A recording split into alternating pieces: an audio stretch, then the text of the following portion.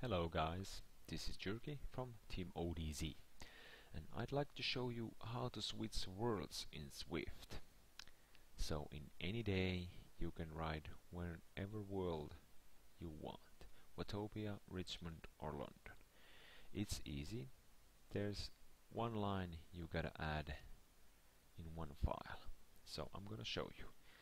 Just first open Explorer go to Libraries, Documents and Zwift folder. Here is the file, prefs. Open that in Notepad, right click, open with and Notepad.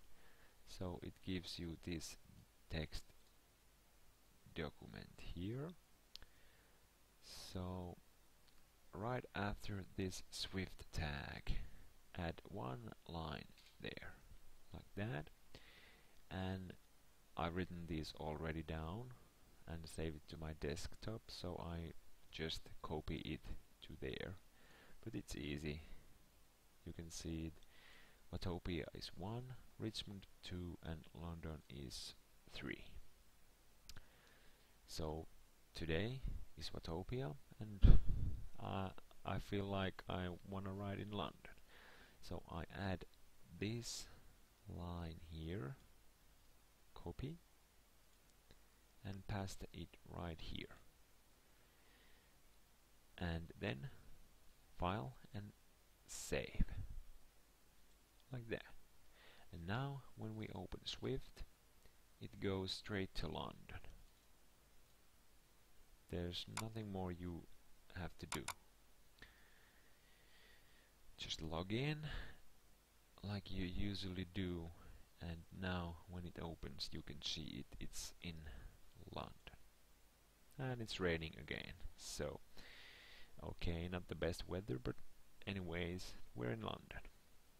So it's simple. Just one line you gotta add there. And if you wanna go back to the normal day schedule what Zwift gives you.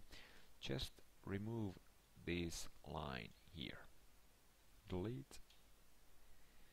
And file and save. Now it's back to normal. You can close it and open Zwift again. And log in. I'll just show you just to be sure.